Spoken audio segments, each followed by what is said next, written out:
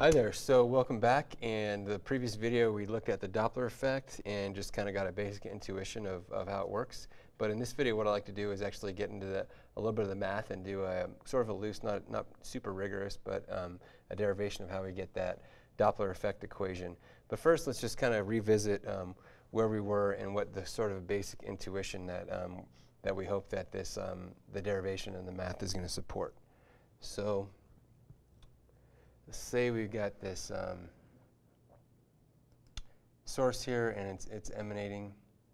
Uh, and let's go ahead and stop it right there. So you can see since this source is moving um, in this direction that, that the wavelengths are getting tighter on this side, whereas on this side over here they're getting, they're getting um, further apart. But if we look down here, let's go ahead and just compare a source that's stationary versus one that's moving. So um, there it's going, it's propagating, it's propagating,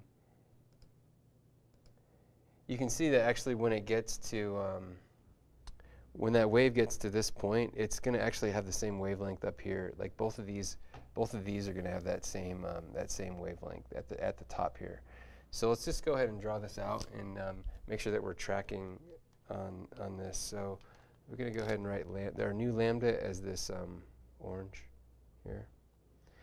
And that is going to be less than lambda naught where um, let's go ahead and define um, lambda naught is our um, original wavelength. And you can see that's going to be shorter here. And on this side, as we discussed, that it's going to be um, bigger than lambda naught. That's going to be because it's going to have a, a, bigger wavelength over here. And if we look at the top, um, as we saw down here, we're going to have a lambda that actually is just going to equal lambda naught. So we want to find some kind of equation that accounts for the fact that this getting, um, you know, that wavelength is getting smaller over here, it's bigger over here when that object's moving away, but it's actually the same if that object's moving perpendicular to it. Um, so let's just go ahead and just write out the, the wavelength, or just kind of kind of um, plot this out, what it looks like in general. So we got a plot here, and say we've got a full wavelength here and this is just going to be distance along this axis. All right, and our total distance across here is going to be lambda naught. That's our original wavelength, and that's going to be equal to c divided by our original frequency. And let's go ahead and draw this out because, of course, um, c is going to be our speed of light, and f naught is going to be our original frequency. Okay, so this is kind of where we're starting from. And we're trying to get to this new, this new wavelength that's sort of bunched up over here. So let's go ahead and draw this out. Okay, so let's say this moved a little bit and we got our new sort of a starting location here. And this is gonna this was our ending location right here. So now since that source moved, that, that wavelength is going to be scrunched up like this. You can see that new wavelength, we'll call this lambda, is shorter. Um, and it's shorter by this distance here We'll just call that delta D. So if you wanted a basic equation for this, um, you could just subtract, you find this new, this lambda by taking this old lambda and subtracting that delta D. And what actually is that delta D? So the delta D is that, it's that distance. And the distance, um, you can think about it as a velocity times a change in time. So that, and that velocity is going to be the velocity of our objects. Delta D is, is going to be the speed of our source multiplied by that time it, that time it takes to move that distance. And that time we're just looking at one period here. Uh, we'll just write that out. It's a period. So we can come up with this new equation here um, where our lambda is going to equal lambda naught which I'm just going to go ahead and change this lambda naught to c over f naught as, um, as we defined it above. And going to go ahead and subtract this. So we got the speed of our source which um, let's just call that V, and I'll write it up here. So we got V, and then we got our period, which um, that period is just is just going to be 1 over our frequency. So it's just V times 1 over F naught. So this is our um, equation, and we could, for, for lambda, but we could also solve this for um, frequency because we've got f naught in here and it's kind of odd to have you know this frequency in here but, but have this lambda here and oftentimes the frequency is, is more of what you're interested in.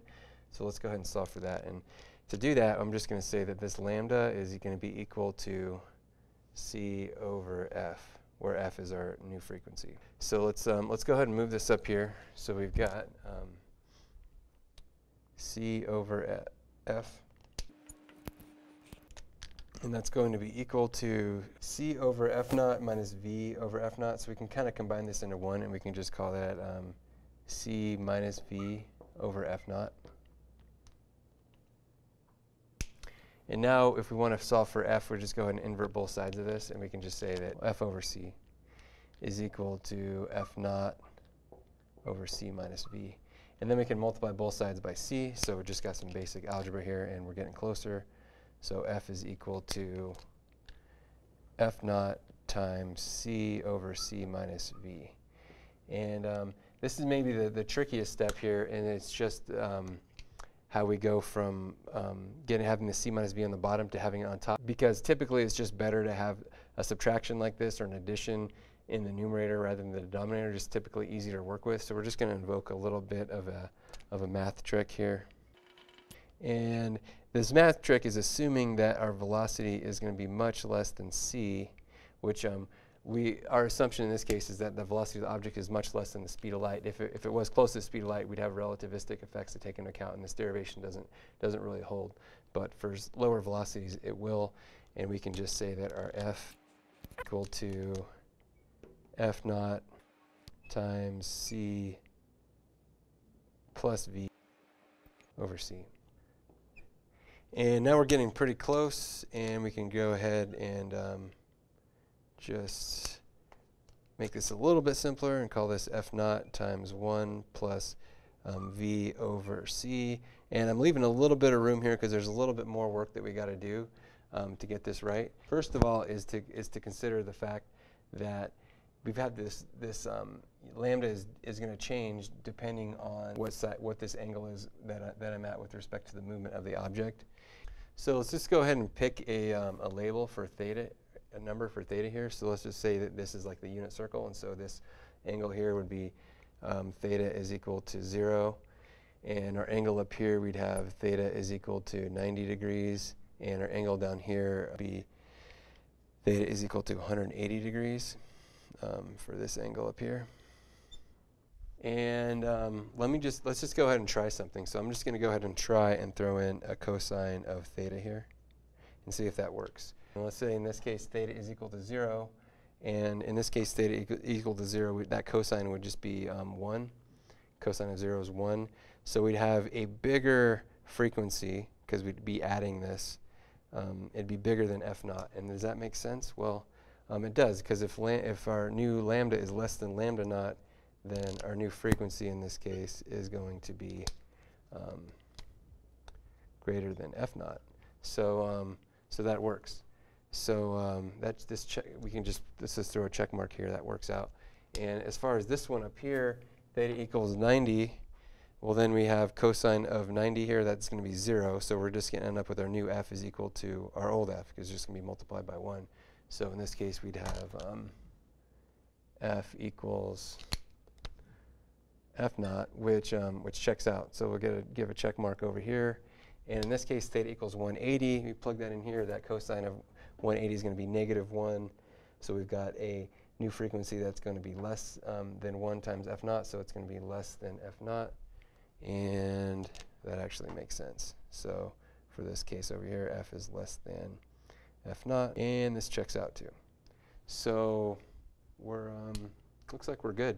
Uh, one other thing we got to throw in here, though, is that if we're talking about a, a radar um, Doppler effect, we actually have this effect happens twice. So we're going to actually have to throw in a 2 here because this effect happens on the, on the radar's way to the target and on the way back.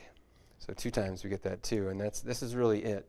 Um, there's a couple other versions that you may see with this. Um, one other version is going to be if um, we instead of instead of thinking as theta as going from 0 to 180 in this case, we just think of it as between 0 and 90, and then we take into account whether that object is moving toward or away generally. So in that case, we've got a different equation. So f is going to equal f naught times 1 plus or minus 2v cosine theta over c. And that plus is going to correspond to when that target and the observer are converging, and that minus is going to correspond to when they're diverging, generally are going are going apart. So that's um, that's another way to look at it. And um, of course, there's um, um, one other important thing to take from this is what that v is, right? Because when the the policeman's shooting his radar gun at you, again, he's looking for your velocity. Typically, you're, you're, that's what you're trying to solve for, that, that velocity. So let's just go ahead and draw that equation up here. So that's going to be um, v is equal to c times f minus f naught all over 2 f naught cosine of theta. And this is um, perhaps the, um, the most useful equation you'll have for the Doppler effect if you're trying to solve for that speed. So that is our, um, our loose sort of a derivation for how we get this um, equation to find the velocity given a shift in the wavelength and frequency due to the Doppler effect. So hopefully that was helpful, and until next time, take care.